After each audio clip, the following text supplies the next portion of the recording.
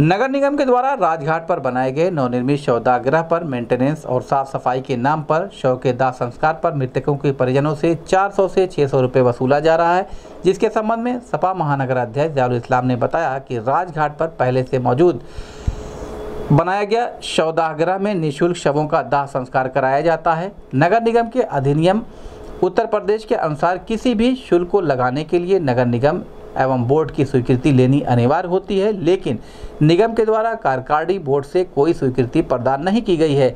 उन्होंने कहा कि सपा पार्षद ज्ञापन के ज़रिए नगर आयुक्त से मांग करते हैं कि शवदागृह पर दाह संस्कार निःशुल्क किया जाए, नहीं तो हम सभी लोग उसी घाट पर जल समाधि लेंगे।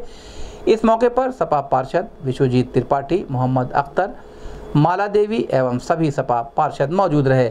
इस संबंध में गोरखपुर न्यूज़ से बात करते हुए समाजवादी पार्टी के महानगर अध्यक्ष जयाउल इस्लाम ने कहा बंद हो बंद हो बंद हो। लाशों से वसूली बंद हो।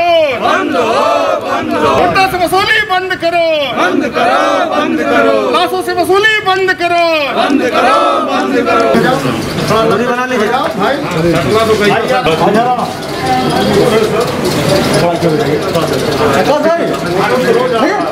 हम लोग इस एक कार से बड़ा नोटिस है कि नगर निगम के लंबे इतिहास में नवासी के बाद पहली बार हमने देखा कि लाखों से पचास लाखों से वसूली के खिलाफ और इसकी निंदा कर और कहना चाहते हैं कि बिना बोर्ड और कार्यकारिणी की जब तक स्वीकृति प्रदान न हो जाए तब तक इस मामले को थोड़ा रोक दिया जाए।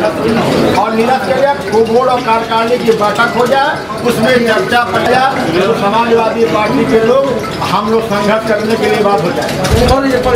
और तो दूसरी बात ये है जैसे ये सम्मान है आप जनता से चार सौ रुपया से अगर लाश से और कफन से वसूलेंगे अगर कोई सफ़ाई और सुविधा की समस्या आ रही है तो निगम प्रशासन उसको अपने तरफ़ से पाँच आदमी आउटसोर्सिंग के लगा की व्यवस्था नहीं करे जनता से अगर एक रुपये भी शुल्क वसूला गया तो हम सामूहिक रूप से सभी पार्षद जाके वहाँ जल समाधि लेंगे। जियाउल इस्लाम महानगर अध्यक्ष समाजवादी पार्टी गोरखपुर। किस तरह ज्ञापन आज समाजवादी पार्टी के सभी पार्षद साथी नगर आयुक्त गोरखपुर को एक ज्ञापन देने आए हैं।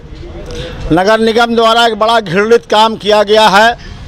जो सौदागृह नया बनाया गया नगर निगम गोरखपुर द्वारा, उसमें नगर निगम द्वारा बिना बोर्ड और कार्यकारिणी की अनुमति के से, के बिना जो वहाँ दाह संस्कार हो रहा है, उस दाह संस्कार में चार सौ रुपये से लगाए छः सौ रुपये का वसूली की जा रहा है। प्रति दाह संस्कार प्रति व्यक्ति जो चीज़ मृत्यु हो जा रही है उससे चार सौ रुपये से लगाए छः सौ रुपये का वसूली की जा रही है। ऐसे घृणित कार्य की हम समाजवादी पार्टी के लोग कड़े शब्दों में निंदा करते हैं और इस लड़ाई को हम लोग आर पार करने का कर, लड़ने का काम करेंगे कि ये शुल्क समाप्त किया जाए और अगर नहीं समाप्त किसी व्यवस्था में हो जाता है तो कम से कम शुल्क लगाया जाए ताकि दाह संस्कार के नाम पर जो वसूली हो रही है उस वसूली के नाम पर हम लोग किसी तरह का कोई काम बर्दाश्त नहीं करेंगे। इसलिए नगर आयुक्त गोरखपुर को हम लोग एक ज्ञापन देने का काम कर रहे हैं।